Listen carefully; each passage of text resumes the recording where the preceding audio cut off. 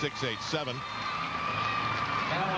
We go to Elena Gomez of Spain. And she had a special invitation to come to the Visa American Cup. She was fifth all around last year at the World Championships. Spain's top gymnast, her coach, Jesus Carballo, says that she is the example for all of the others in Spain to follow. And he considered the Visa American Cup to be an important event to include in their calendar. He said the Americans right now are the best in the world. I need to be here to see what to expect in Athens. Very interesting.